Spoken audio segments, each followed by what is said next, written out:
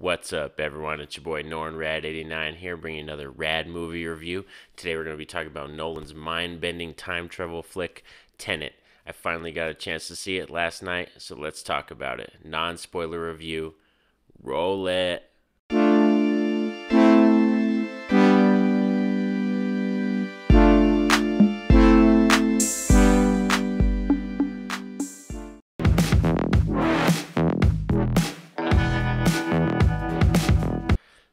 Tenet is Christopher Nolan's new mind bending time travel film. It's starring John David Washington and Robert Pattinson. It's about our main character, the protagonist, who is recruited by an organization that is basically here to stop it, like stuff from the future, you know, past that will threaten us, things that are coming to now time from the future to threaten us. There's a billionaire Russian man named Sir, oh, Sator and he is a Russian billionaire who is tasked with trying to put together an artifact that contains an algorithm that will basically kind of destroy our time now. And so that is what the film's core is centrally about. So let's get to talking about the positives of this film. And for me, a big positive, definitely right off the bat, is it has a classic Nolan style to it, the pacing of it, and just a lot of the vibe of it and the way that it feels, the sounds and everything. It just has a very classic Nolan vibe. Definitely feels like Dark Knight or Inception. You can see the mirror of like the things he likes to do, but this one kind of has more of a 007 Bond feel. Christopher Nolan is actually a huge James Bond fan, and you can definitely tell he has like a love for that genre because the first part of this movie, probably the first third of this movie, is very kind of like a spy espionage type flick, but it's still very enjoyable to watch these characters kind of dive into this world and you're along for the ride and everything. And then once we get fully immersed into the idea of inversion and time travel and all that kind of stuff, it takes a whole nother route and a whole nother realm and becomes one of the coolest films that I've seen in most recent years in terms of like cinematography and things and ways like thinking of ways that they could have shot that. It is a very intricate film and very choreographed and you can tell like when you're watching it you're like your mind is wondering like I wonder really how they decided to film this. And it's a really great piece just very epic and stuff that you haven't seen on screen necessarily before. So that's why it's great to always go see a Christopher Nolan movie because he's definitely going to bring you something in some form or fashion, he's going to bring to the table something that you've never really seen before, and that's why it's always fun to enjoy his movies. We also get some really great sets and just some great locales in this film. There's beautiful scenery all over this movie. There's yachts, like just just imagine like Bruce Wayne's budget times 20. Like that's what this movie has. It has so many locales, so many amazing places and like sets and buildings and stuff like that and like I said yachts and just amazing pictures and all that kind of stuff, scenery that you love to look at. So that's definitely top notch. It also has some really cool, interesting, like kind of core characters that keep you along for the ride, and you're kind of focused on this one main character, the protagonist. You're you're through his view most of the way, and just kind of seeing everybody else like kind of come in line and step into his world.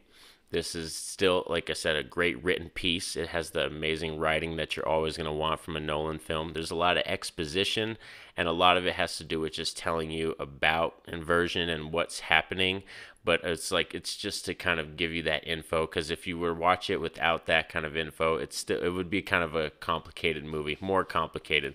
It still has complex issues and things about it, but I think it would be more complicated if you didn't have some of those exposition spots and the action is also something that I thoroughly enjoy. The action, like I said, has that good Nolan style of like, oh, that's amazing shots, and like wondering how they did that actual fighting scenes and the battle scenes and everything. They're just very interesting, and like they could be very loud, but they're very interesting as well and cool to look at. So let's get down to talking about some of the negatives for this movie. As for me, some of the negatives I could have done with a little more explanation about the actual machine that the villain, our antagonist character Sator, uses to mess with time and time travel and everything. There could have been a little more explanation about the actual machine and the tech that he builds. There really isn't like a lot about that at all.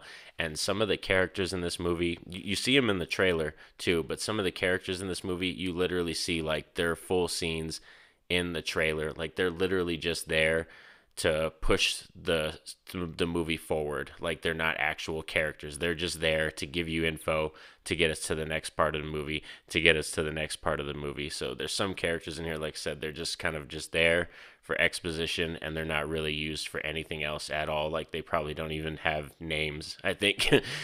but that is another negative and there's some parts in this film where their characters talking like I love Nolan's music and I love the soundtracks and the sound effects he uses, but there's some parts in this movie where it got extremely loud during just talking, like just randomly, like two people talking, sitting on two chairs, looking at each other, talking, and then like music just popping up and coming out of nowhere and just getting louder like a symphony. Like that kind of thing was a little irritating and it kind of bugged me but it was just it wasn't a lot of parts. It was just a couple parts here and there that were kind of really like that. I was just like what? Like i'm trying to listen and the music just keeps getting louder and it might have not been very important but i do like dialogue and i love writing and i like character development so i want i want to listen to things. So when it gets louder and the sound and the music kind of overtakes the actual talking it's like eh that's so that's a hurtful thing but overall, in my book, this is still a really great Nolan film. I definitely recommend renting it because it's going to give you something that you've never seen on film before.